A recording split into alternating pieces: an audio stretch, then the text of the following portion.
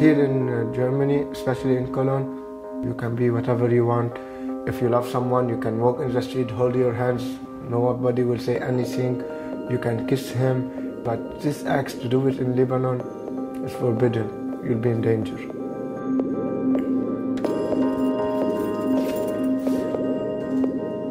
I grew up in a city 10 minutes far from Beirut.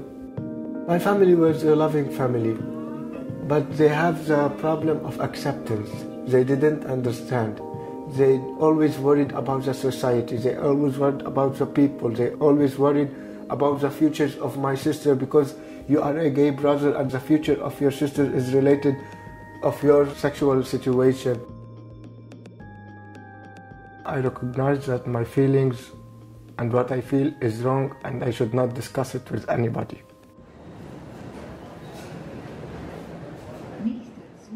The motive that I have to leave Lebanon is when my life was in danger.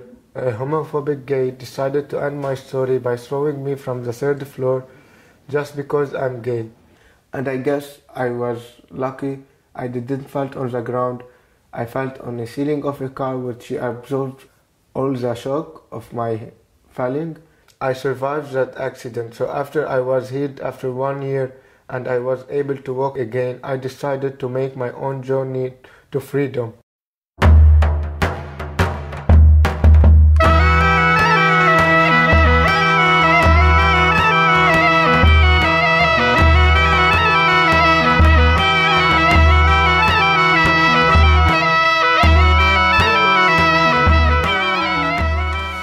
Hello. I'm here in Germany since three months, and I guess during these three months I discovered a lot about myself, who I am, and what I want to be. Everything is new for me now. I go on a weekly basis to Baraka where immigrants come, where refugees could come. So every week I could meet new people.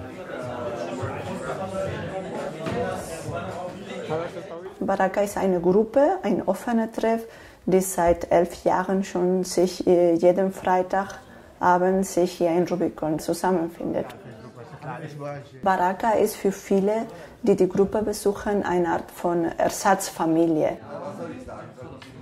When I arrived here to Germany, I stayed in the camp. I noticed that there's no special activities, special care, special something regarding LGBT communities. So they escaped from being accused, they escaped from violence, they escaped from harassment, they seeked freedom.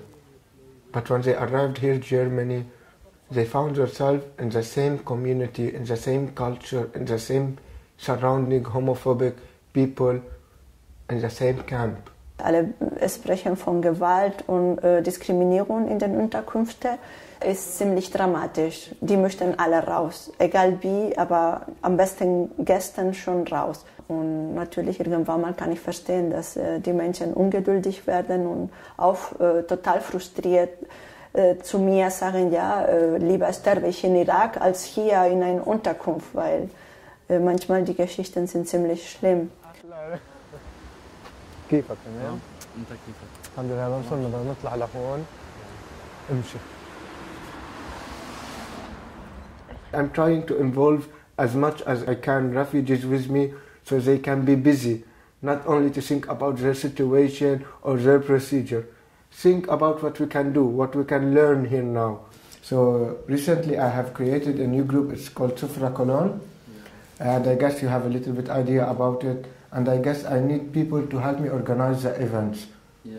It's about integration between LGBT community, refugees, and LGBT community in Cologne. They will find at Sufra Cologne a place where can they feel free to be what they want to be. They don't have to pretend, they don't have to lie. They are what they are. Since yesterday night at 1 o'clock, I opened the group.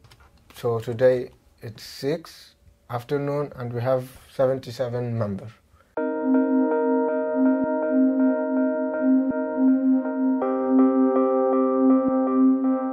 My new life here in Cologne, as if I'm reborn, I can express my ideas, I can do what I want to do. I don't have to care about what people think. What's matter is what I think about myself. I began to love myself here.